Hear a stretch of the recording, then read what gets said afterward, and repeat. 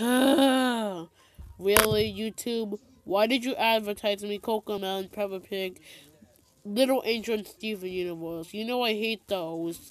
But if you like Steven Universe, I respect your opinion. But why are you advertising me baby stuff?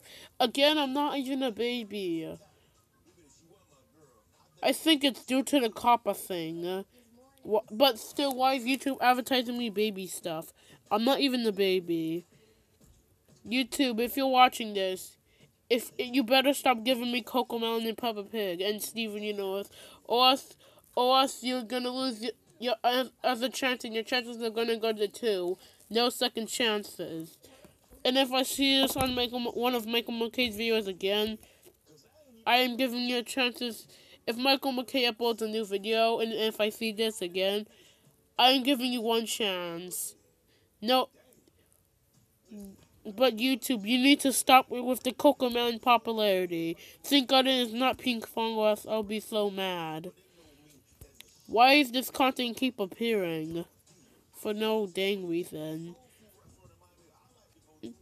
And this is a request to everybody. And this is a message to everybody.